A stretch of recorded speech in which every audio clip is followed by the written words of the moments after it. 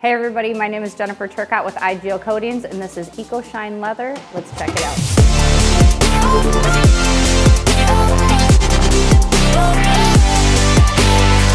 IGL EcoShine Leather is a natural lanolin, zero VOC leather conditioner for treated leathers. Our bio-based formula contains plant-based emollients and conditioning agents. Leathers are left looking rich and renourished after the application. You can use this on all treated leather surfaces not suitable for suede and untreated leathers. Remove loose dirt from the leather surface, shake the bottle well and apply onto a soft towel.